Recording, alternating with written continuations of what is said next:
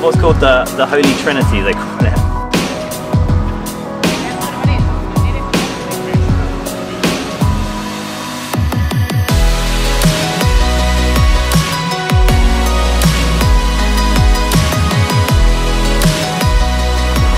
Afternoon from Trento, Italy. This weekend, Nellie and I are at a travel conference called Traverse, and a few days before the conference actually starts, they've got all these pre-activities lined up. And the one this evening is called Epic Photography with Tom Archer, who is a UK travel and landscape photographer. I'm gonna introduce you to him in this video, and that all starts right now. Let's go.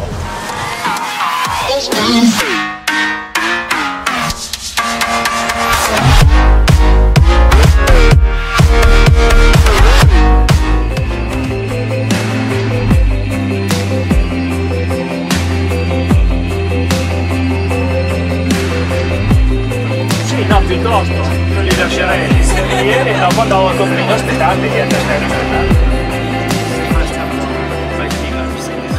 And we made it. This is the spot on the side of the road. There's a lake, I think, really close here. So we're gonna go see if we can find a good photo spot. And the whole crew's gonna set up, see if we can get some epic photos.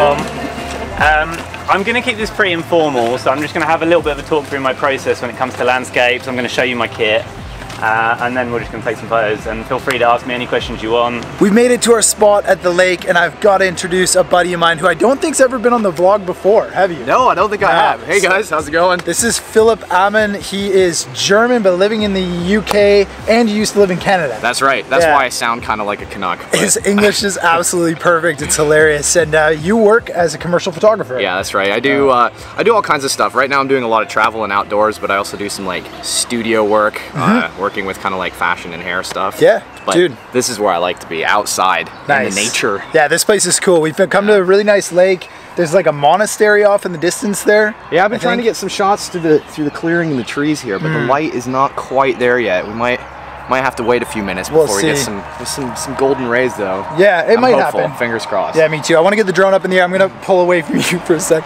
We got the rest of the group right here and uh, listening to Tom. They're uh, talking about his landscape photography right beside a road as well. So you don't have to hike miles for a good location here in Italy. But uh, they're listening to Tom just to chat about his sort of style of photography and, and what he does and how he sets up uh, his shots and, and uh, some basic information, but also some tips and tricks, which is really cool. Looks like the sun's peeking through, so I gotta try and get some shots right now. We're to hang out here, I think, for a bit and see what the conditions are like, see if the sun comes out, try some different things. So I shoot with a Nikon, and this is the D850.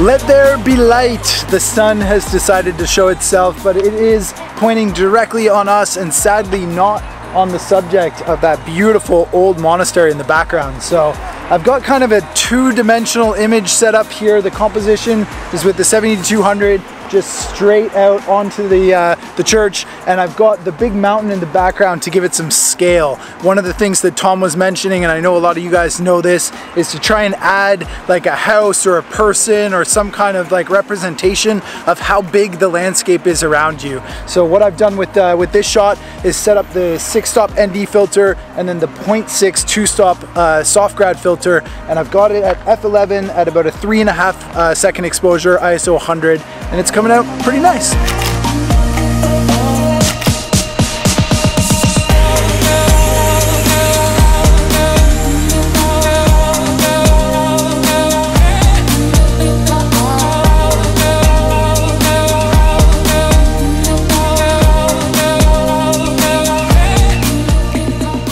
So Tom Archer, I'm gonna put you on the spot. Hey, oh dear. He has Here graciously agreed to be on the vlog, which is very cool. But Tom is leading this uh, this outing. It's called Epic Photography. Yep. Yeah, which is pretty awesome. Your landscape images, man. I'm gonna be honest. I saw them this morning for the first time. Yeah. And I was amazed. They're Thank you. really, really good. Thanks, man. And uh, I'm lucky to be able to travel the world, taking a ton of photos, sharing them here on the channel with you guys. And uh, I want you to see his work because it is awesome. So you were telling the group earlier some like quick tips and tricks about landscape photography. Can you just repeat those to these guys? Yeah, for sure. Um, really, the most important thing for me is light. So it's all about being there at golden hour, and being there at the right time. Uh, but the most important thing is patience. It's waiting. You know, uh, often it is cloudy and it's hazy, but you know, in the, you wait there for four hours, the sun can come out for ten seconds, but that's when you get that killer shot. You know, that one extra, Yes. uh, that X factor that Especially other people don't get. with bad weather, like Iceland Yeah. or the Faroes, Exactly. Patagonia. All my favourite shots were in places like the Faroes where it's just the weather's awful. I mean, I remember one specific day where we were on the Faroes and we hiked to this viewpoint and it was horrible. It was chucking it down with rain and most people would have been like, no way I'm going Oh, out in that. And then uh, the sun broke out um, just a little bit over the horizon and it was the most dramatic thing I've ever seen. We had this beautiful sun, this dark skies, and then the other way you had a rainbow, uh, the, this kind of or, dark orange hit in the mountains. Uh, you can link to it, I can show you a picture and then they can see.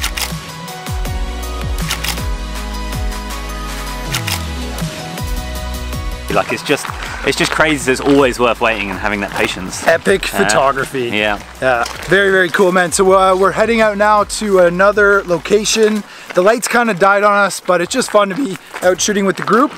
And yeah, that's it. Yeah, let's do it. Grazie mille, signore. Buongiorno. Prego, prego. Our second location is actually like a panorama lookout at a restaurant. Got Phil with his uh, tripod here. When you don't have it, got set it nice up where can. Yeah. so it's time to fly again, really. Now that the light hasn't popped, I've still got a bit of drone battery left, so let's get up in the air.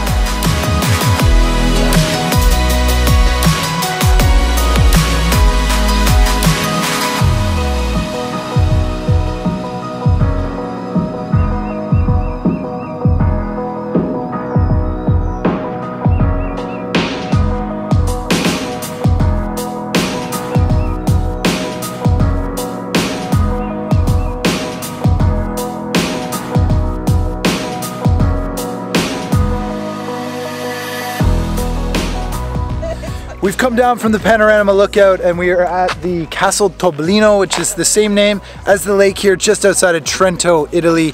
Beautiful location. I can see how with better light, this would be like phenomenal for landscape and travel photos. Uh, unfortunately for us, it didn't really pop, but a great place to fly the drone. Got some really nice drone footage and very cool to just talk photography and travel with all these amazing people all now gonna join you in the community here on the channel, which is really, really cool. I'll probably get like three to four new subscribers, which is sweet.